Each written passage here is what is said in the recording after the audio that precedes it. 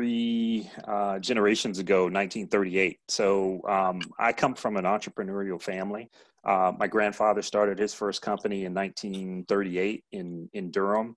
Uh, during the period where it was referred to as Black Wall Street. So, um, back at the turn of the century, Durham, North Carolina had the highest um, density of Black millionaires per capita in the country, of any city in the country. And so it was called Black Wall Street because of the um, prosperity of the Black business community and um, given how prolific it was uh, within the city. And that changed over time with a number of uh, controversial policies, urban redevelopment um, that displaced businesses and, and ended some.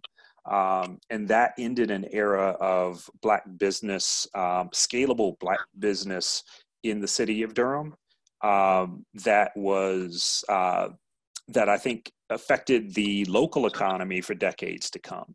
Uh, and was largely undervalued in terms of what it contributed to the overall economy of the Triangle and North Carolina.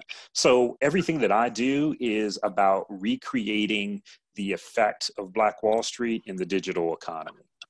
Uh, tech industry in particular, and you know, Nick, we talk about this all the time. Tech has an ability to scale wealth quicker than any other industry, and uh, I believe that incorporating underrepresented communities into the tech uh, ecosystem will help them scale generational wealth um, at a far more rapid clip than they have. And um, that's very important for the uh, being able to solidify our local economies, the regional economies, state economies, and also the nation.